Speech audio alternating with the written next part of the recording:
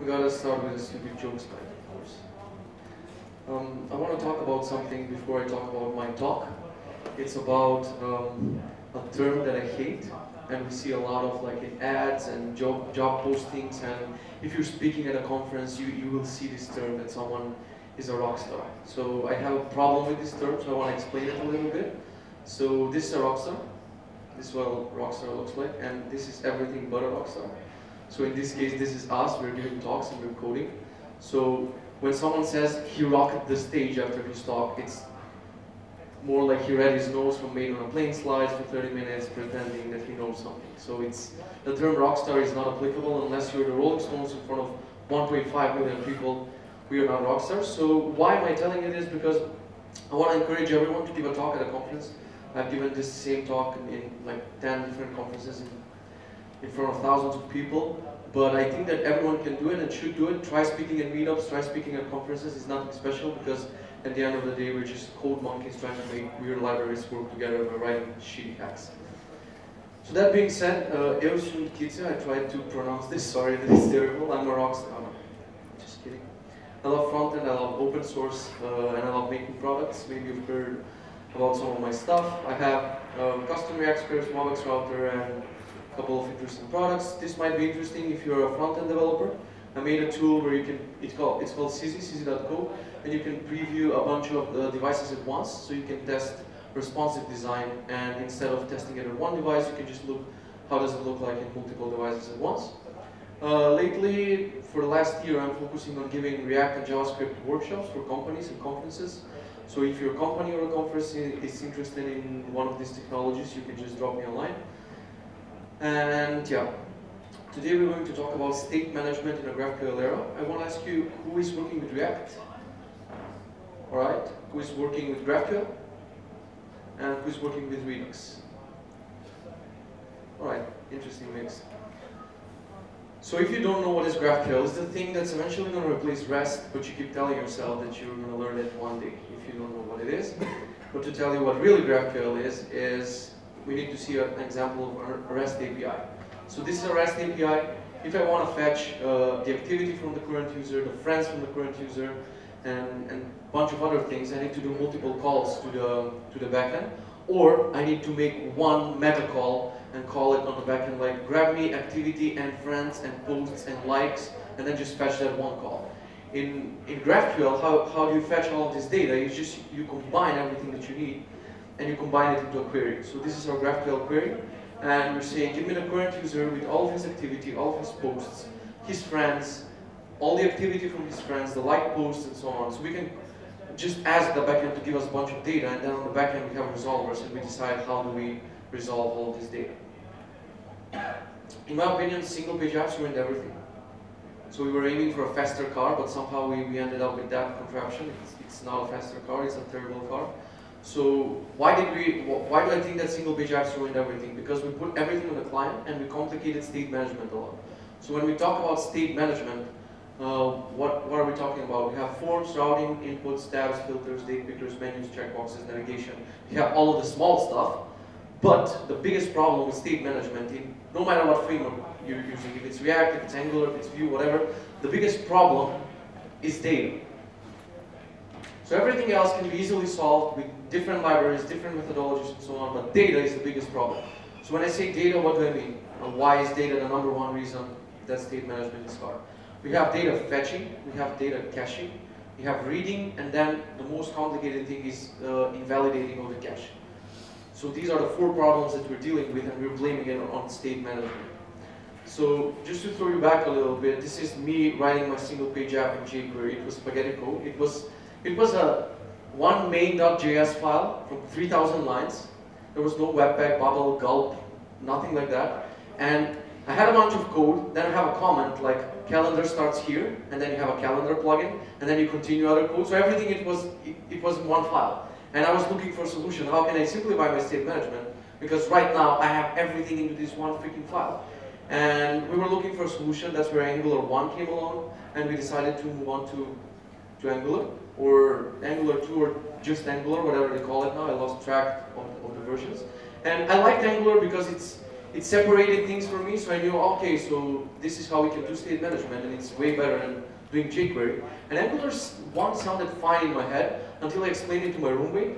So he said, all right, we've been talking about this Angular thing, can we sit down and you explain it to me? I'm like, look, it's really simple. So you only have controllers and factories and services. You just put a service in your factory, in your controller, and everything goes in a template. You just inject it. And he's like, what the fuck are you talking about? So when I explained him the concept of all of these buzzwords that Angular 1 has, it became complicated in my head. Like, why do we have all of these things just to simplify state management? And then I was deciding, should we use, uh, should I move on to Angular 2, learn TypeScript, or should I try something else? And that's when React came along. I won't dwell on how good it is. I'm running training on React, so yeah, it's the best to solve all of my problems. But when I started working with React, I was trying to be too smart. So when I first fetched my data, I have these three API calls, like the posts, and when I clicked on the post, I went to post number one, or I fetched the user info. But I hated the loading spinners that I was getting all the time, right? So you click something, there's a loading spinner. You go to the same page again, there's that loading spinner again. So I was like, how can I cache this so when I go to that page, the data doesn't refetch, but I actually just read it from the cache. So I made my own caching mechanism. It's with just giant object where the keys were the names of the API calls and the values were the values of the API calls. And, and it was fine. I got rid of the loading spinners, but then the problem was how do I validate this cache? How do I normalize data? How do I connect this piece of data with that piece of data? So it turned out I cannot do it with my own mechanism. I needed something else that can just grab a bunch of data, simplify it, normalize it, and so on. And at that point, the most popular solution for doing this was Hitachi. What's Redux? So everyone was talking about Redux, blah, blah, blah, like people are connecting React and Redux together, like it's one thing, you gotta learn it. So I was like, okay, I'm gonna take a month off and just I'm gonna work on learning Redux. And in my opinion, if you ask me, I love Redux and I hate Redux at the same time. I love it because it's a genius concept. Even if you're not working with React, with whichever framework you're using, just go to egghead.io and look at the tutorial about how Redux is created from scratch because it's a pretty simple library. You can watch this video series where the creator of Redux just creates it from scratch, from an empty file. And it's really, really powerful and interesting concept. But I hate it because it's redundant most of the time, it's complicated, and it's adding a lot of boilerplate. So it's not the perfect solution. If you don't trust me on this one, you can trust the, the author of the library, He's tweeting, no hard feelings, it's definitely overhyped, low level, and often used unnecessarily. And he wrote an article, you might not, so he created Redux, and he wrote an article, you might not need Redux. That's like a band releasing an album and telling you, don't listen to our album, maybe you won't like it. So I respect him because he can, he can be critical about his own uh, library because what it says here, people choose Redux before they need it. And that's really true. There was a post on Reddit, you can find it on, on the React JS subreddit on Reddit, and there was a guy asking, uh, I just started with React, what should I do to use to, to do network requests? And of course, the most upvoted answer was this. Hitachi, okay, this is what screwed me up the entire thing, I think. Alright, so the first answer is just use Redux Saga. Like this is, if you're not familiar with React and the React terms, this is such an overkill. Like, if you if your friend calls you that there's a spider in their house, and you're like, I'm gonna be right over with my bazooka. So it's that much of an overkill. Using Redux Saga, recommending it to a beginner, I hate that about our community. Like it's like everyone is recommending the most complex stuff to do the most simple things. So right now there's a poor soul trying to connect two libraries, Redux Saga and Redux Form, just to make a login form. I can make a login form in, in five lines of jQuery, but if you Google Redux Form and Redux Saga, there's tons of questions on, on Stack Overflow. How do we connect these two? Just don't. Use React as it is, don't use this if you're using a simple login form. So my roommate, usually I explained all of, his, all, all of the new technologies to my roommates. We were sitting in a restaurant, he was like, look, I have this idea for a simple app. We have a lot of employees in my company and someone is doing the coffee every day. And he was like, I want to create an app where we're going to press a button, it's going to randomize all the names, and just say that this person is going to make the coffee for the entire company this day. And he was like, we need index HTML file and jQuery and we'll be done in half an hour. I was like, no, no, no, we need Redux. We're gonna sit down in this restaurant, I'm gonna teach you React, I'm gonna teach you Redux. It's like, why? It's like the simplest app ever. I'm like, I want to introduce you to this concept of Redux and blah, blah, blah. When we entered the restaurant, it was day. When we went out, it was night. So until I taught him how to push something into array in, in Redux, it took us a couple of hours. So at that point, I was like, holy shit, this is too complicated. Like, state management shouldn't be like this. It's a lot of boilerplate to do something really simple. And I told him, I'm going to look into this other solution that I'm reading a lot about, MobX, and I'm going to explain you MobX tomorrow. And I went home, I opened the documentation for MobX. It was so easy with observables and observers and everything. Like it's way simpler concept than, than Redux. It's not the perfect solution, but it was way simpler. So I had time even to implement a face recognition API, grab like, make a randomizer so he takes a picture of a bunch of people and then it randomizes their faces. So instead of spending my time on writing Redux boilerplate, I made something even better. And I was, I mean, I still use MobX, but the problems with every state management library arise when you start messing with data. So I can use MobX for face recognition and randomizing things. Yeah, it's really simple. But when you throw data into it, we got the same problems as, as Redux has. So we had this problem. It, it's not something new. We had jQuery versus Bluetooth, Angular versus Ember, GraphQL versus REST, Redux versus MobX, React versus Vue, Apollo versus Relay, and so on and so forth. We have this conflict since always. And the mistake that we're doing right here is we're asking what's better instead of what's suitable for my app, what is suitable for my team, what is suitable for our use case. So these are the questions that you should be asking when you're evaluating, should we use this or the other library for, for, for my thing? And people usually are asking this, what's better? I just started with React, what's better? It really depends on your situation and the context, because if you ask me, I Trump is great but on a golf course. As a president, he's terrible. Like, it, it's all about the context. If I tell you he's good or bad, I'm not telling you in which context I'm talking about this. So yeah, you know, people should evaluate things a bit more. In our community lately, if you're into React, you will see this statement. Higher order components suck. And then you have something on the other side. Render props are the best. And as community, we cannot find something in the middle, which is like, how about a healthy mix of both? So if you think you should use a higher order component, use that. If you think you should use a render prop, use that, but don't be one or the other. We had the same thing with Redux. Previously, it was like, we need Redux for everything, and nowadays you can read articles, Redux is dead. So the library has like 40,000 stars, and people are writing articles, Redux is dead. We're going to replace it with a new context API. And the irony is, Redux is already using a context API, and people are like, oh, React has a new context API, we're going to replace Redux. And it's not as simple as that. So I think we should find something in the middle and just use Redux when it's applicable and don't use it when it's not. So I'm going to show you some examples about how, if you're picking a stack that includes React, Redux, and so on, and GraphQL, how you can, oh, actually no, this is not the example, that's the next example. So I'm going to give you an example of fetching data in multiple ways. So we have the fetch API, and we're saying fetch all my to-dos and do something with them. Then we're going to do the same thing with Redux.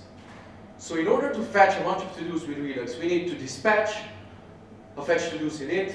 Then after we fetch the to-dos from our API, we need to dispatch that it was success. Then we need to dispatch that if it failed, we're going to dispatch that it failed. So this is one slide. And we have another slide. We need to intercept these actions and do something based on these actions. So if it was successful, we need to return new state. If it's um, when it's initted, we're setting loading to true. If it's successful, we're returning new state. If it fails, we're returning different state. It's like an entire slide to handle pushing something into array and set, setting a loading to true or false. With MobX, it's a bit simpler, so we have only one slide. We have a class. We have a bunch of observable decorators.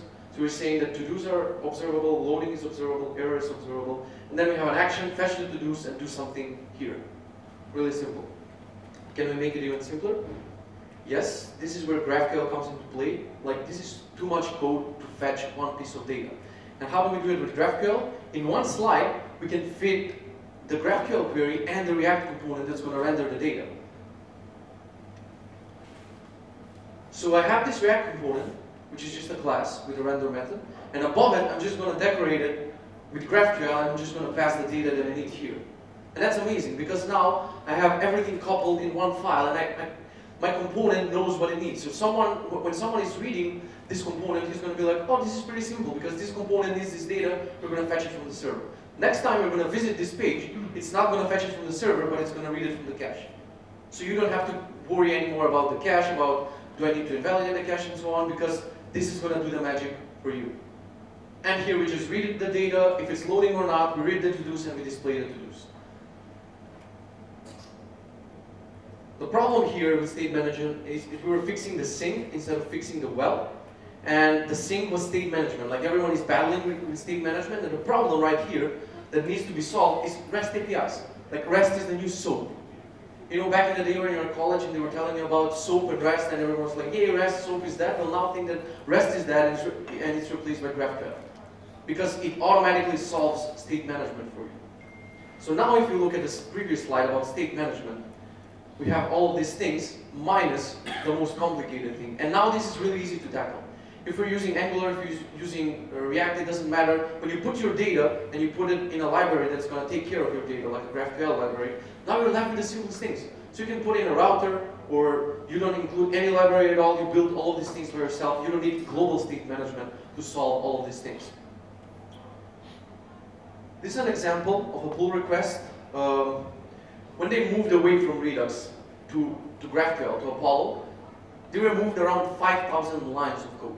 So everything that was tied to data fetching and caching validating and so on, it was around 5,000 lines. So they removed 5,000 lines.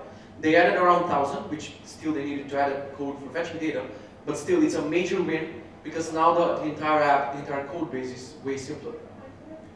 So if you ask me, do we even need a state management library when using GraphQL? My answer is always going to be this guy. Like, uh, I don't know. It really de depends on your context. So in order to help you, if you need to use or you don't need to use, I'm going to give you an example or a few, uh, few sample stacks that you can use, and then you will see if you need a library or not. So the first one is vanilla.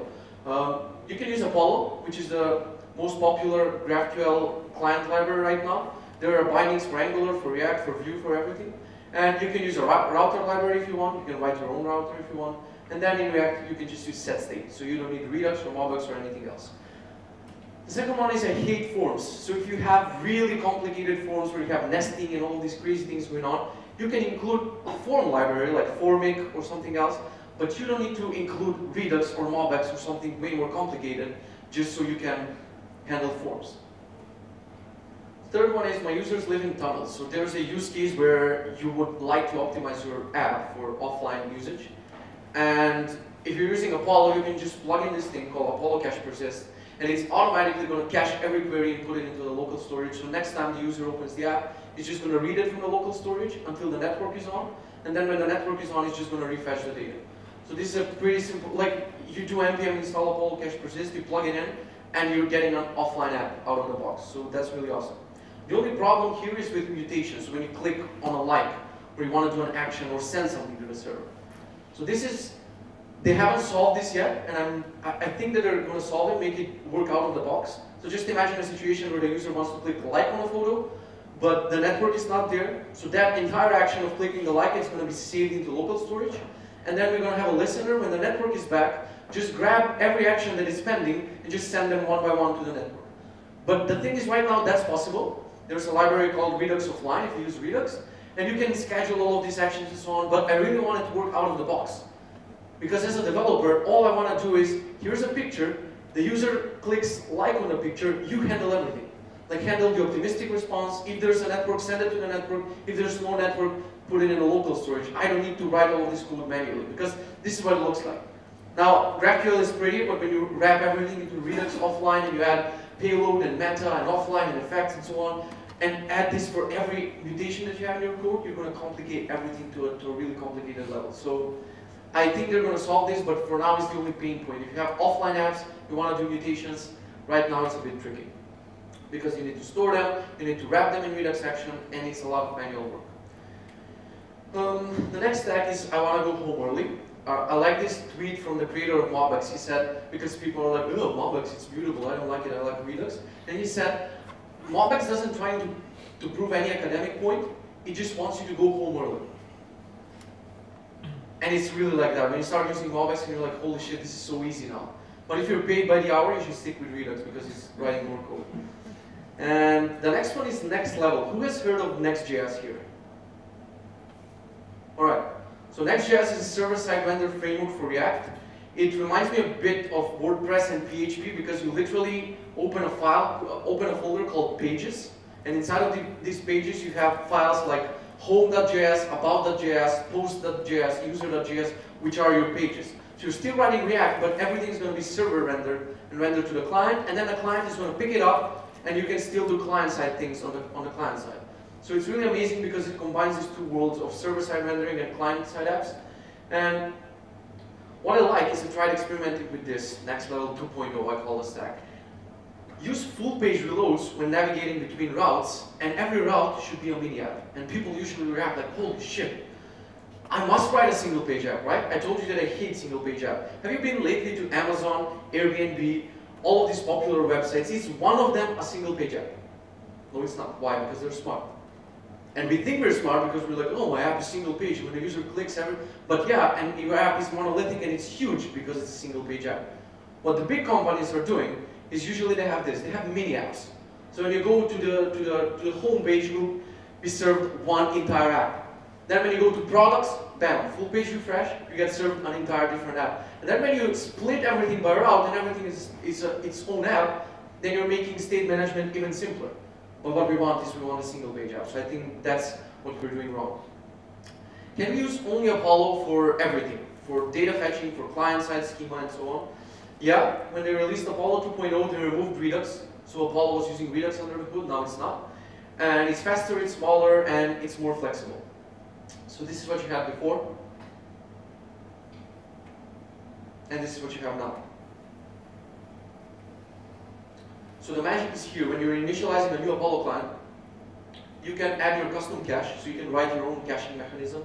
If you don't like, if it's not fast enough, you can write your own cache mechanism, which is faster than that. And people have already done this. Like literally when they released Apollo Link, someone wrote Apollo Cache Hermes, which is a faster cache than the Apollo cache. So they increased the flexibility and one thing they added is Apollo link state. So now you can have client-side state management with Apollo.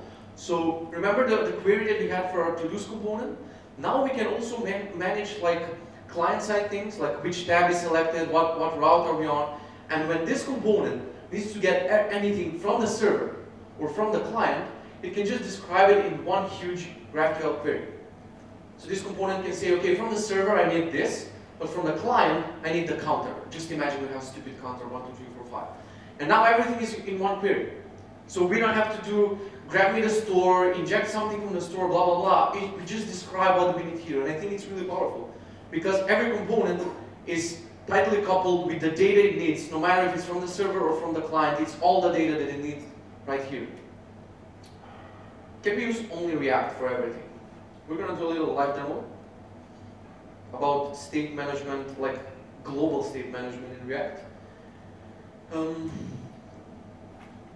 can everyone read this? Or is it too small? Yeah? You can't read it? You can or you can't? It's okay? Cool. So, let's see. Alright. Oh, I haven't started this.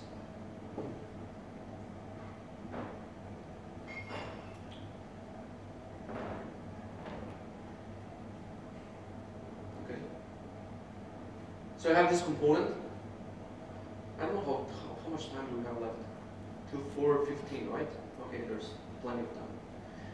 So I have this component, and it's just rendering one H1 tag with hello box. And what I want to do is, I want to add global state management in my app, where I'm going to store all my to-dos, authentication, if I have a user, if I don't have a user, and so on. So there's a new context API in React, which is really powerful. Previously in React, you weren't, like if you went to the context docs, you would see, don't use this, it's not stable, we don't advise you to use this in your own code. So now they they refactor this API a little bit, and they, they are advising uh, you to use context. So we're going to explain how does the new context work in React.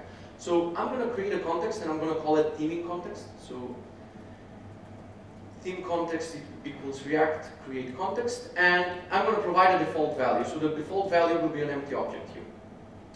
Now, my um, now all my components can just consume from this context because what this does, create context, gives me two new components. So one is theme context.provider and one is consumer. What provider can do is it can set a new value. So let's say that my default context right here is background color black and color white. So this would be the object that other components are going to consume. And if I want, I can have a theme context dot provider, which is going to override these values, and it's just going to say, I don't know, yellow and color pink. So that's what the provider component does. We can also have a consumer component, theme context of consumer, which will allow us to read these values. So let's say I'm going to create a header. So I'm going to say header is a component. I'm going to make it a div. But instead of just, okay, I'm going to say, hi, I'm a header. Here I'm going to add some style. I'm not going to add a background color. I will say the height is 200, the width is like this, and padding is 25. And now I'm going to use my header component above this H1 tab and this is the header. But right now, this header doesn't have any styles, right? So I want to consume this theme. This is just imagine this is a really complex app. My header is not here. It's just nested somewhere. Let's nest it like this. Never write this code, please. And now this header wants to have access to my to, to the current theme. We can even move it to a separate file because right now you think, oh, but it's already in the file. Why don't you just read it from there? So I'm just going to do header.js and I'm going to export it here. Export default header. And we need to import React here from React. Cool, so I have this header, it's in a completely different file. And now it needs to know about the current background color and the current color of our app. What, what is the theme of the app? So I can export this context so other files can read it. And inside of my header component, I can say import theme context from app. And now I can just wrap everything into a consumer. So I can say theme context.consumer.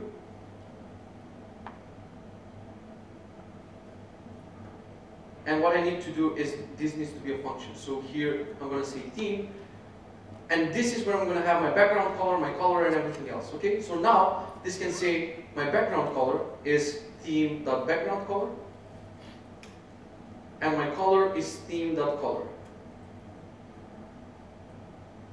header is not defined, we need to go in our app and just say import header from header.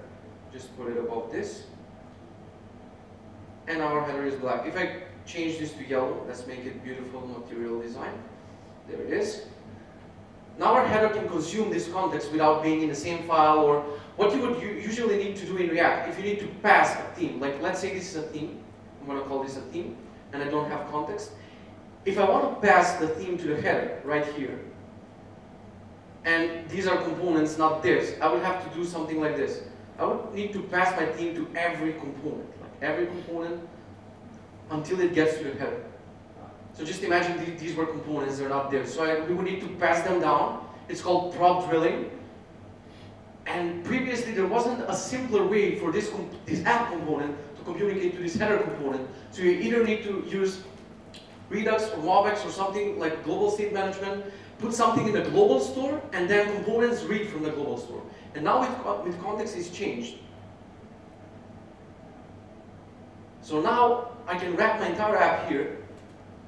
Oh, I need to revert a little bit. All right. Now you'll be like, how does the header read the current theme? Because we don't have a provider anywhere, right? So this is the default value. So even if you don't have a provider, the, the, the header is going to read the default value. If I remove this, the color will be white again. So we would need to add a provider. So let's wrap our entire app in theme context.provider right here. And here I can pass in a value. So I can say background color is red and color is yellow. And now it's going to work again. So this theme context provider can provide context to all of the children components. Okay? no matter where, where, they are, if they're in a different file, if they're nested in another component, if this header component had another child component, it can still call the consumer and just grab something from the consumer. Is this clear? So can we write a global solution, like a global store solution, that's going to store all of our data, and instead of including Redux or MobX or something else, we're going to have like a component called global store. This component will only take care about storing all of our global state in our app. So if the user is authenticated, or what's the current theme, or what are the to-dos, and so on. So let me first do something else. I'm going to create themes here. So I'm going to say dark theme would be background color, uh, black and color white, and I'm going to create a light theme, which is going to be background color white and color black, right here, and I'm going to add a function called toggle theme, which is going to set the state, and it's going to say, give me the state, so the new, or let me add state first. So the state, we will keep theme name, and it's going to be dark. So at first we're going to have uh, a state of this component and the theme name is going to be dark. I'm going to remove the toggle theme.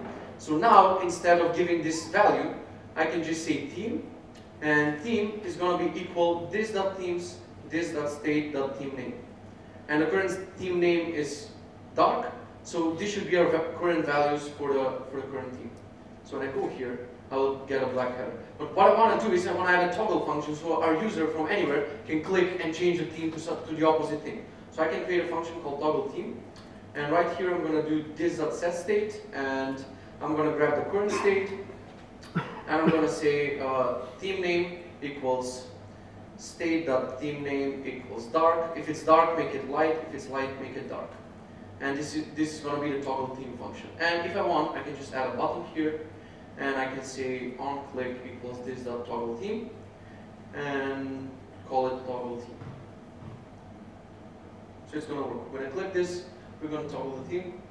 Um, the thing is, what if we have another component called sidebar or footer or something like that, that that component wants to wants to call toggle theme, right? Because toggle theme right now is a function on our app component. So what if somewhere else I have this footer that, that wants to change the theme. So let's create it. I'm just going to be lazy and copy the header. I'm going to make it footer right here. And this footer will do nothing special. It will just to be, hi, I'm a footer, and we're to put a button, toggle theme right here. So on click, it would need to call toggle theme. But how can it read toggle theme? It needs to read it from the context. Right now our context is just providing us a theme. So it's not providing us any functions that we can work with. So what we can do in our app component, right here, where we're providing a value, instead of a value, we can just provide, uh, instead of a theme, we can provide an entire object. So we, I can say theme plus theme, or we can remove this from ES6, and I can say toggle theme equals this dot toggle theme. Or if I have multiple actions, I can just say actions I can pass whatever I want here. And then every consumer can read from this object. So now I'm passing in actions and toggle theme. So right now in my footer, I will have the entire object here. Like this will be entire object. But instead of reading it like this, I'm just going to deconstruct from it. And I'm going to say, uh, I don't need the theme, but I need the actions. And actions.toggle theme. Now I need to import the footer right here. So I'm going to copy this import footer from footer, and we're going to render it somewhere there. All right. Great, it's working.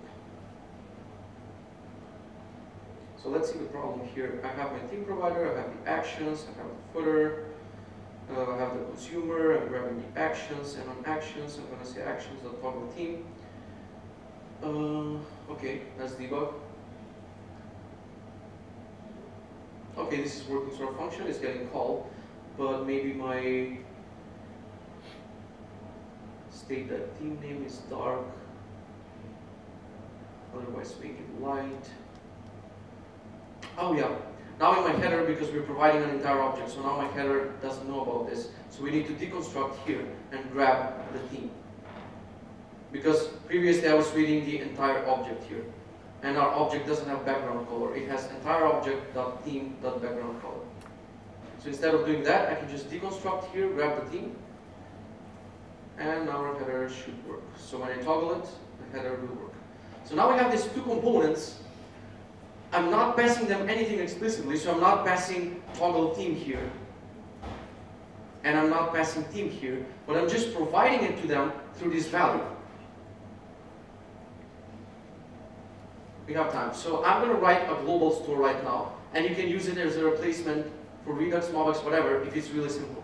So I'm going to create a folder right here, call it global store, global store, and I'm going to create an index.js file for the global store. It's going to be a React component. We're going to see global store. Uh, for right now, it's just going to render a div and it's going to grab the children. So whatever we put inside of it, it's going to render it.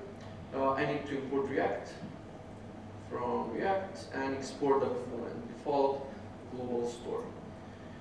Uh, I'm going to delete the theming thingy so everything will go away. We are not going to have this context. We're still going to have header and footer, uh, but we're not going to have themes. And I'm not going to have a provider. We're not going to nest this like this. And make a mess for myself. Good job. You just close this here. Okay, we have header, h1, and footer. Now what do we need to do? We need to import the global store from global store. And I can just wrap my entire app into my newly created global store. Everything should work the same. Component is not defined. So right here, I forgot to import component from React. So what will this global store do, just so it's not confusing for now? It's just rendering a div and it's putting what, whatever it has as a children. Currently, the children is going to be another div, so it's just going to, uh, in context. Okay, I forgot to clean up my context here. So clean up, clean up, clean up right here. Also in the footer, I should clean this up, and this, this, and nothing is going to happen. Okay, so now everything works because our, our, global store is pretty stupid, right? So what do we need in, in our global store is, I would like to store something in it. So I want to have some state, like to-dos, and maybe theme name again, and maybe I want to keep uh, the users. So right now I don't have any users, so I can say user is null, theme name is dark. And I want all of these other components to, to read from this state. So what we can do is we can kind of recreate our own version of, of Redux. So I'm going to go here and create something called reducer and just export it. const reducer equals. This is going to grab state and an action. So it's going to have a switch, and based on the action type, it's going to say uh, if case is add to do, you should return uh, to dos, the current to dos right here, plus add action dot to do, and it's going to have another case of what should we have here? App to do and I don't know toggle theme. So it should return theme name equals, if state theme name equals dark, just give me light, otherwise give me dark. So this is a completely separate file. We can write test for this. It's not tied to our component. It's looking like, like this is a real reducer from Redux. You can plug this into Redux. So now I'm exporting my, my reducer, but I should also export my initial state. So I'm going to say export const initial state. And from this component, I'm going to grab everything right here and put it into initial state right here. So this is describing this is describing the global state for my entire app. So here I can store everything and here I can handle all the actions that are going to happen in my app. But somehow we need to provide all of this state and we need to provide a way for our header and footer to read from the state and to call these actions, right? So what I'm going to do in this component is I'm going to import re reducer and initial state from reducer. And I'm going to say that state of this component equals initial state and I'm going to create a method called dispatch. So what dispatch is going to do is going to say this.set state, grab me the old state, but instead of deciding what, what I want to do here, just call the reducer that we've written in this other file and pass it the state and this action. So we need, all our components need to know about two things, state and dispatch. So if they have access to state and dispatch, then they can use it to read the state or to dispatch to do something else. So first I'm going to go in my header component and do this, the same thing that I had previously. So I should, I should first create some context. So here I'm going to create context and I'm going to say import React from React and export const uh, global store context equals react.create context. At first it's going to be an empty object.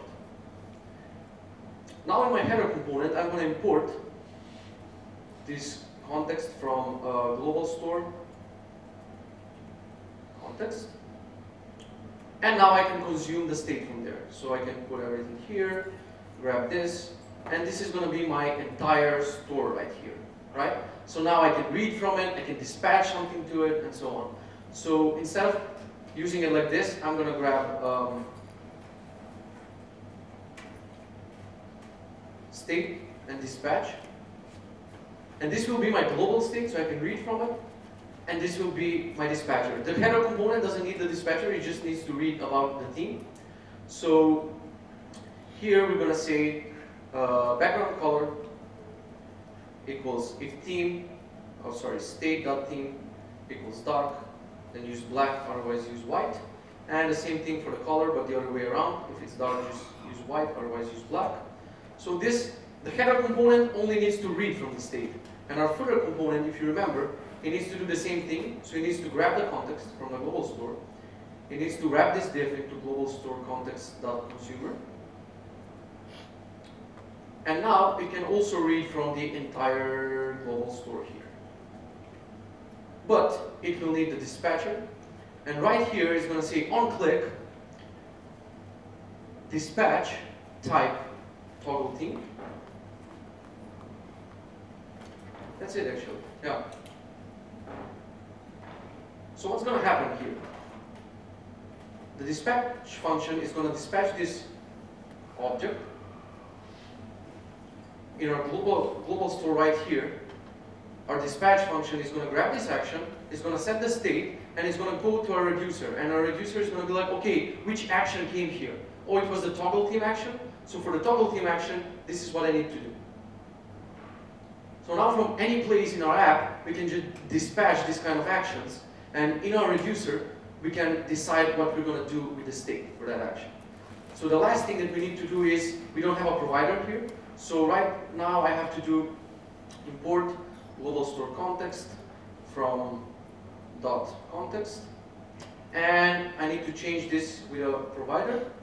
And as a value, I'm going to say state equals this dot state and dispatch equals this dot dispatch. And now every component in my hierarchy has access to my state right here, which is to-do, Steam name, and user and it also has access to dispatch.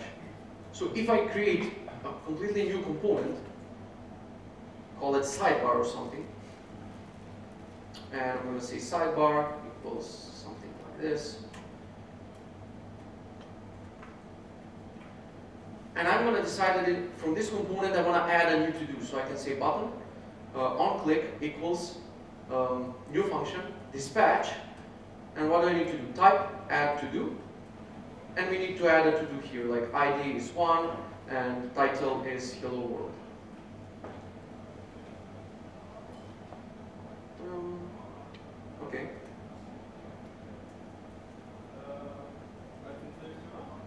And how, how will this work? We need to grab the we need to grab the context. So in every one of our components, when we need global state, we just grab the context. So we say import context from global store context. And we just wrap our component with this. So we say global store context dot consumer, close it here, and then we have the entire store right here. So I can say entire store dot, dot dispatch, or I can read values from the store. So just imagine if you're using GraphQL for all of the data, and we have this simple file that's going to take care of everything in our app. So if we have a user, if we don't have a user, what is the theme name? Is like, I don't know, sidebar collapsed, true or false. Uh, so this is going to be the single source of truth for our entire app. And all of, the, all of the other components are just going to consume it through the context.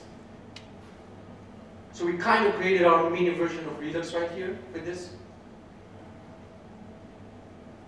But if you did this previously, like before React 16, this would not be performant and would not be good. Now with the new context API, you can really do this, you can use this code, and it's going to be okay if you're handling small things. Like if you're handling all of this data and you do it in this component, don't do it. You're better off using Redux. But if you're using Apollo, if you can just combine it with this and you're going to be fine. Um, I have 10 minutes left, so I'm going to go back to the slides. So using GraphQL in 90% of the cases, you're not going to need Redux, MobX, and so on. If you use it, you're like over-engineering the app. Now I'm gonna, like, after the entire day of listening to people telling you about new technologies, about blockchain and GraphQL and React and Redux, you probably feel overwhelmed, right? You're like, fuck, now I'm gonna go home and everything is obsolete and my code sucks and I need to rewrite everything in Angular 7 because that one guy told me to, to do it. So that's why I have this portion of the talk, like who am I to tell you what to do? Or who is any speaker to tell you what to do? Like you should get a, a little bit of context about the speaker before you judge if you should listen to him or not. So here's the context about me. I work alone. I don't work for clients. I don't know what I'm doing. I'm experimenting with a new library every week. Like this is a concept that came out a week ago. And I'm going to make a Christmas tree out of this slide. So would you believe a guy who, who does this in a talk? No. Um, you should always evaluate the context and your situation before you, follow, before you follow anyone's advice. If someone tells you use GraphQL, you should evaluate your situation. Can we move to GraphQL or not? A client project project story. So we had a client, he wanted an MVP. We decided to go with GraphQL, but GraphQL can also get really complex. If you need to invalidate the cache, it's like, Jesus Christ, we need two files to invalidate the cache. So I decided, how about, after every mutation, someone clicks a like, just refetch all the data. And people are like, what? That's a lot of data. No, it's not. It's like 300 bytes, or half a kilobyte or something. So instead of over-engineering our entire app and following best practices about how you should invalidate your cache and so on, when the user added something, we just refetched all of the data for that page. So if that page had like five queries, it would fetch five queries. All in all, it would be one, two kilobytes for all the queries. But it saved us so much time because I didn't need to over-engineer my app with the Apollo cache and so on.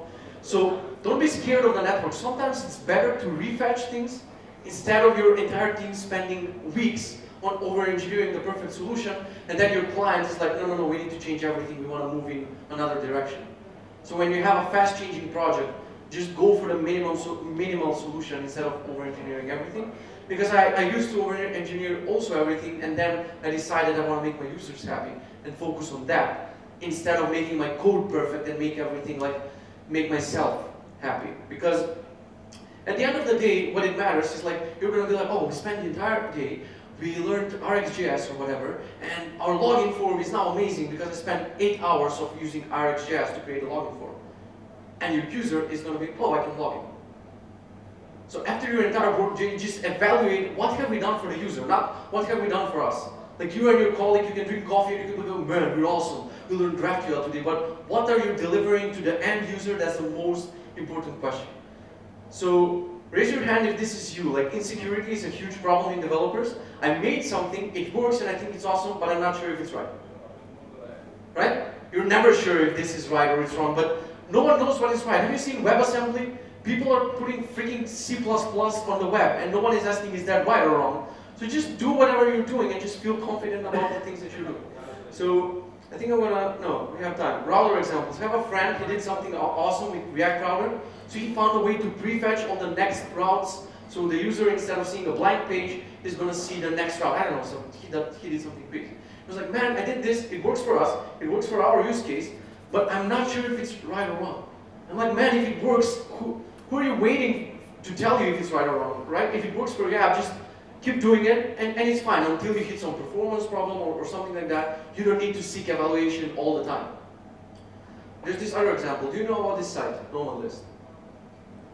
The guy is running it on PHP without any framework and jQuery. So here we're like, oh, we're using Redux. He's running it on PHP, jQuery. He has a couple of websites. All of them together, he has open revenue, make $50,000 per month. And he's not a good developer you wouldn't want to write, you wouldn't want to work for him. His code must be a mess because it's just one giant PHP file. And when he started with web development, his brother was like, uh, this guy was like, I'm going to do something awesome. I'm going to deliver something to the users because I love no ones, I love traveling, so I'm going to deliver something awesome. And I'm going to learn programming. I'm going to monkey patch my code until I deliver a product. His brother started at the same time, and his brother was like, I'm going to learn Meteor.js. And you know what happened after a couple of months? this guy had like 20k in the bank and his brother knew Meteor. So his brother is now expert in everything in Meteor, but he never delivered something valuable to users. So we evaluate also in that context. I think this is the last example. Um, and I, I have, I'm having a coffee with this friend and he's explaining me what he did with GraphQL. So he's like, man, you should see our stack, our GraphQL stack. We have a caching layer and a mechanism, so the, all the responses are a couple of milliseconds. It's like crazy fast. We optimize for weeks. And I'm like, wait, wait, wait. Are you like Facebook or something? Why did you do all of these crazy things to optimize your GraphQL? It's like, no, no, no, we're just doing a website for a hospital. Like, there's no situation where the nurse is gonna be doctor, he's dying because our landing page is not fast enough. Like, why did you spend so much time on doing something not important to the end user, right? So, you shouldn't feel bad if you're not using the latest and greatest. In this case, you will hear about blockchain, about WebAssembly, about GraphQL, but you shouldn't feel bad. Who here has never used a service worker? Right? Like it comes by default, I know what it does, but I never cared to learn about it and do something with it. I have a friend who was building a website for a conference, and she built the website, and the first thing she did, she added a service worker. Totally unneeded. Then she couldn't remove the service worker from people's machines, so she had to buy another domain just so they can serve a new website on a new domain and redirect to it. So it doesn't mean if you're using something hipster and, and bleeding edge, it's going to be good for your users. What do we have left? So yeah, summary of everything. Stop seeking external approval. Stop seeking answer always in other people's projects. Stop feeling insecure about your code because nobody actually really knows what they're doing. And delete your Twitter account. Like that's a terrible place to be a, a programmer. If you like what you're doing and it works for you, for your team, for your company, you should just forget about this talk, everything I told you, just forget about it. Uh, if you like what you heard, you can, uh, I'm, I'm Kitze Everywhere on every social network. My website is kitze.io, except on Twitter. Some asshole like tweeted once and took my account, so I'm the on Twitter. And you can find more about my training there. Uh, I don't know if I'm going to pronounce this right, but mulțumesc. And thank you for listening. Thanks.